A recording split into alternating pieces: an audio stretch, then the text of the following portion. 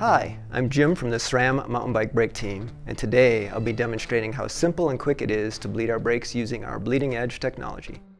I've already done the preparation for the bleed by filling my syringes with DOT 5.1 brake fluid.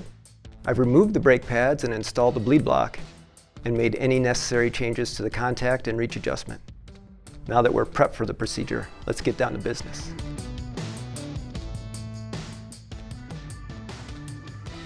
Remove the bleed port screw and install the syringe.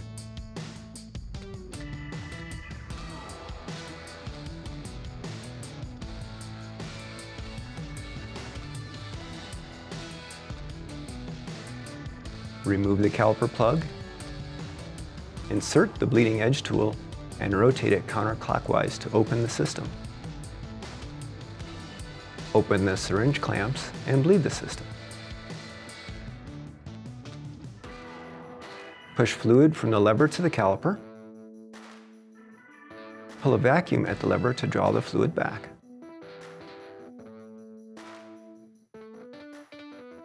Rotate the bleeding edge tool clockwise and close the system. Squeeze the brake lever to release any bubbles in the system.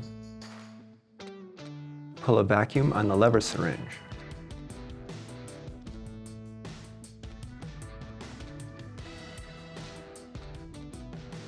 Remove the lever syringe and install the bleed port screw.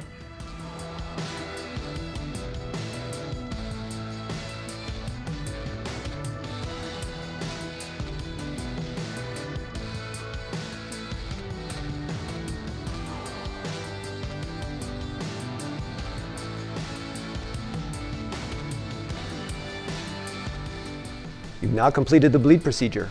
All you need to do is clean up the lever and caliper with some water or isopropyl alcohol to ensure no dot fluid is left on the components. Reinstall your brake pads and wheel and you're good to go. For more information, please review the user manual or follow the video link below to view the full bleeding edge procedure. Thanks for watching.